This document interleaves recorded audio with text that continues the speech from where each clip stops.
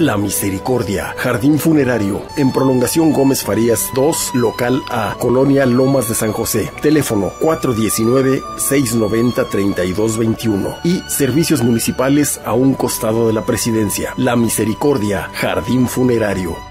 Para reforzar la actividad económica del municipio, el gobierno local, a través de la Dirección de Desarrollo Económico, el área de fiscalización y la tesorería, entregaron apoyos económicos a los comerciantes que vieron afectados sus negocios debido a la pandemia generada por el COVID-19. El presidente municipal, Luis Gerardo Sánchez Sánchez, presidió el acto protocolario donde se otorgaron apoyos que ascienden a poco más de dos millones de pesos, destinados a más de mil comerciantes ludovicenses. La directora de Desarrollo Económico, Patricia Ortiz, resaltó que los beneficiarios deberán apoyar al municipio vigilando que la ciudadanía aplique las medidas básicas de sanidad. Por su parte, Magda Segundo Suárez, líder de la Plaza San Luisito, expresó que estos son tiempos muy difíciles, el ingreso a sus comercios es muy poco y la necesidad mucha, pero que con este apoyo podrán cubrir las necesidades de sus espacios. En su mensaje, Luis Gerardo Sánchez reiteró a los comerciantes que no están solos y que por ello se está trabajando para darles el apoyo que requieren. Finalmente,